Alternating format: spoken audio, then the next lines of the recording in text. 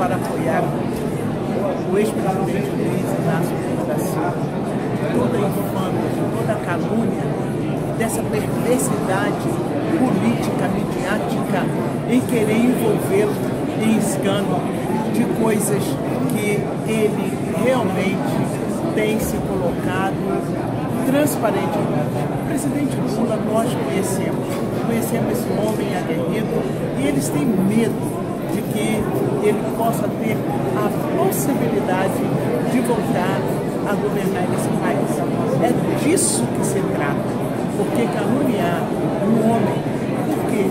Porque ele colocou um jovem é, na escola, na faculdade, tirou o povo da miséria, que condenar a esse homem que deu tantas oportunidades a quem não tinha o seu teto?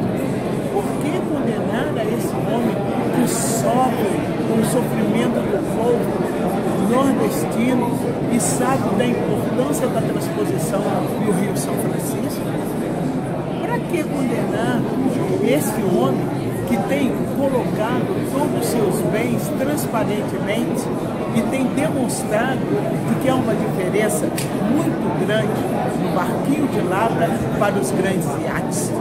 É este homem que nós estamos defendendo, porque é este que defende a democracia no Brasil, é esse que defende os pobres, é esse homem que nós entendemos ter feito a maior mudança no país. E hoje, junto com a presidenta Dilma Rousseff, nós também estamos para que não haja golpe. Então, basta nesta política nefasta que está colocando a sociedade sem informação e numa situação terrível na medida em que não se sabe da verdade. Queremos, sobretudo, e acreditamos ainda na nossa justiça, que ela não seja seletiva, que ela possa averiguar, investigar com toda a transparência e isenção a todos quantos estejam envolvidos, mas que haja o direito, não só da defesa, mas de comprovar verdadeiramente para depois então condenar.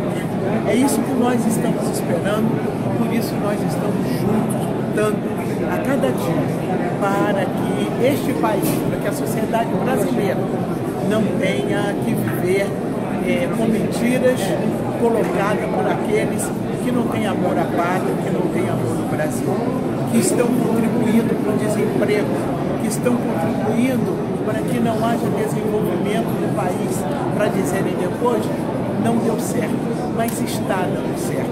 Nós temos fé em Deus de que este país será, sem dúvida nenhuma, e continuará a ser, sem dúvida nenhuma, um país com referência de inclusão dos pobres, dos necessitados, das oportunidades dos jovens, das mulheres, dos negros.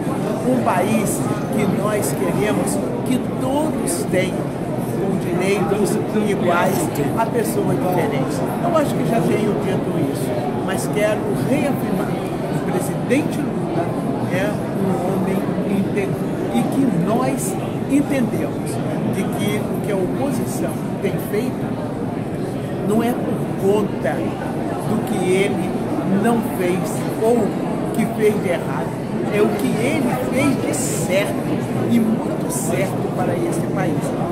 Disso que a oposição tem medo, é disso que aqueles que são contra o Brasil têm medo, é disso que eles precisam, é isso que eles precisam passar para toda a sociedade brasileira. Mas temos a certeza, temos fé, que a verdade prevalecerá. E prevalecendo a verdade, nós teremos o nosso grande Luiz Inácio Lula da Silva, sempre mas sempre conosco e nós estaremos sempre